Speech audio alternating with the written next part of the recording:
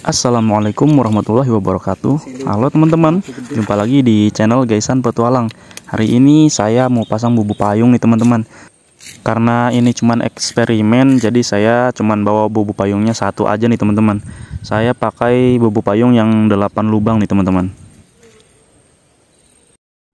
Nah sesuai sama judulnya Jadi kali ini saya bereksperimen Pasang bubu payung pakai umpan kelapa sawit nih teman-teman Nah, ini kelapa sawitnya, teman-teman.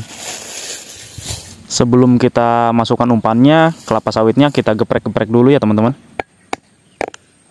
Karena medianya terbatas nih, teman-teman. Jadi, saya buat gepreknya ini pakai alat seadanya aja nih, teman-teman. Lebih bagusnya sih ditaruh di atas batu ya, teman-teman. Kita gepreknya pakai batu nih biar lebih cepet. Jadi nggak satu-satu kayak gini ya, teman-teman.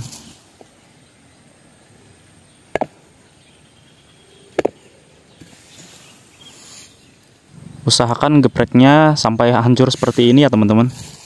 Ini fungsinya biar keluar aroma kelapa sawitnya nih teman-teman. Sama keluar minyaknya nih. Jadi memungkinkan lebih menarik ikan-ikan gitu teman-teman ya. Geprek-gepreknya kita skip aja teman-teman biar cepet nih. Nah ini umpannya udah saya pasang di bubu payungnya nih teman-teman. Tinggal kita pasang ke air nih teman-teman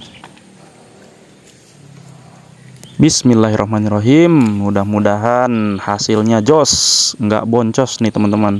Ini pertama kalinya saya pasang bubu payung pakai umpan kelapa sawit ya teman-teman. Jadi mudah-mudahan hasilnya jos. Oke teman-teman. Ini kurang lebih saya pasang 20 menitan ya teman-teman jadi kita lihat hasilnya nih, apakah eksperimen bubu payung umpan kelapa sawit jos ataukah boncos?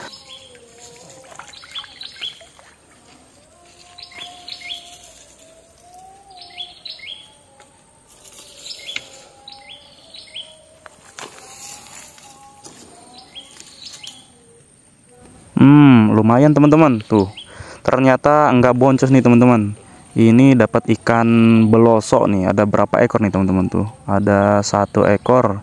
Ini di sebelah sana juga ada tuh dua ekor tiga ekor nih teman-teman. Ada kurang lebih tiga ekor teman-teman. Tuh di sebelah sini juga ada nih teman-teman. Nah ini ukurannya lumayan cukup besar nih teman-teman. Tuh. Wah lumayan nih teman-teman ya.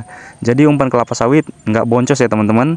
Bisa dicoba di bubu payung teman-teman nanti um, kalau bisa lebih lama lagi ya pasangnya biar lebih banyak juga hasilnya teman-teman. Wah ini ternyata ada udang-udang juga nih teman-teman tuh. Wah ada udang-udang kecil juga nih teman-teman. Lumayan nih teman-teman. Nggak boncos berarti ya teman-teman ya. Nah bagaimana menurut teman-teman? Apakah teman-teman mau coba? Silahkan dicoba ya teman-teman. Jangan lupa tinggalkan komentar juga ya. Jangan lupa like, komen, dan subscribe tentunya. Terima kasih teman-teman yang udah menonton Salam petualang.